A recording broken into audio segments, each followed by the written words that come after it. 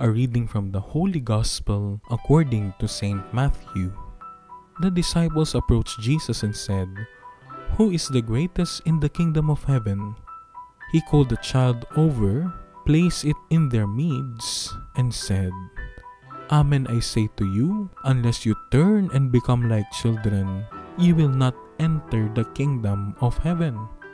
Whoever humbles himself like this child is the greatest in the kingdom of heaven. And whoever receives one child such as this in my name receives me. See that you do not despise one of these little ones. For I say to you that their angels in heaven always look upon the face of my heavenly Father. The Gospel of the Lord. The Kingdom of Heaven. Jesus preaches about the kingdom of his heavenly Father and how his kingdom has already come to people. He accompanies his preaching with signs and wonders called miracles. Yet Jesus' disciples fail to understand that these miracles point to an entirely different kingdom. His disciples are thinking of a power grab, while Jesus proclaims a change of heart and mind by teaching people the way of God.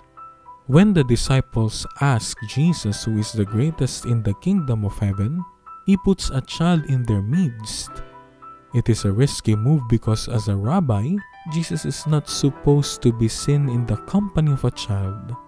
But Jesus is not dependent on human opinion and teaches his disciples about the necessity of becoming humble.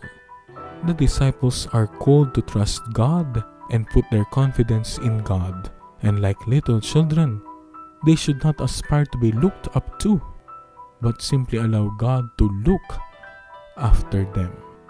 Do I struggle with pride and arrogance? Do I trust God enough that God can make me a humble follower of Jesus?